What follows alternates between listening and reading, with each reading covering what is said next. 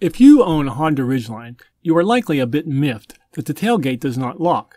eTrailer at eTrailer.com provides a tailgate lock, pop lock, for owners who want or need a tailgate lock. Mine arrived a few days after making my order over the phone. The service was pleasant and helpful. The pop lock kit is nicely packaged and is a bit more substantial than the tailgate lock assembly. It contains everything but the tools to do the installation, which could be as little as a Torx wrench, Phillips screwdriver, and wire cutters. Removing and replacing the plastic skin of the tailgate is honestly the most challenging part of the installation. I found the top of the edge of the cover can be bumped to the passenger side to slide it off its hold down clips. This is easier than removing the clips as per e-trailer instructions. Do, however, note the orientation of the clips. A quarter turn in either direction will make them impossible to fit their mating slots during reassembly. Once apart, this is what you will see. I live where just about every truck is missing or will be missing a tailgate because of rust. So I painted the tailgate assembly inside with a water activated epoxy called Miracle Paint. I have been using it on new and restored vehicles for years and have yet to find rust where it has been applied. The Pop-Lock tailgate hardware installs in a few minutes. The e-trailer video is helpful. My unit has had a design change since that video and is even easier to install into the locking mechanism. I've included a piece of EPP between the solenoid and the tailgate to mitigate any vibration that may occur E-Trailer proposes a wiring route to connect the pop lock to the native Ridgeline wiring.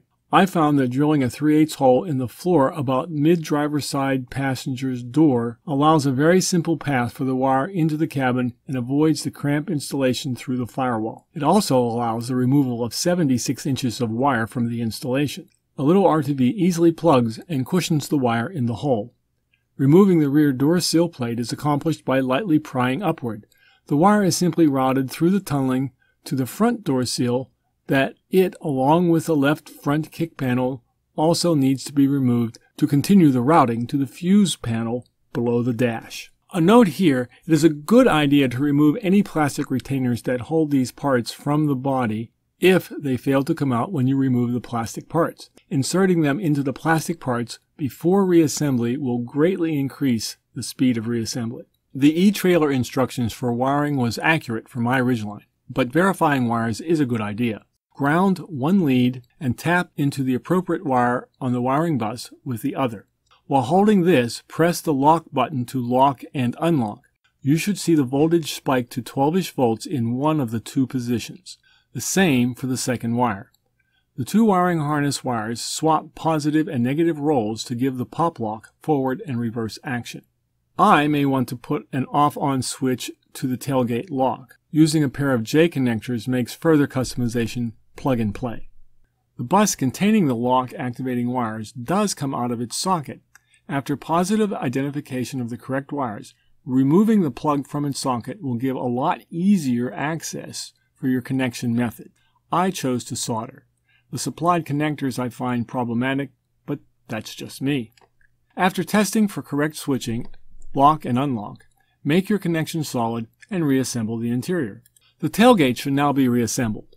The large interfacing of the tailgate using the Torx bolts goes in first. Then the top edge mounted piece that slides onto the slotted retainers. This piece will take a little finesse. Install any clips that may have come off into the top of the tailgate. Line all of them up correctly.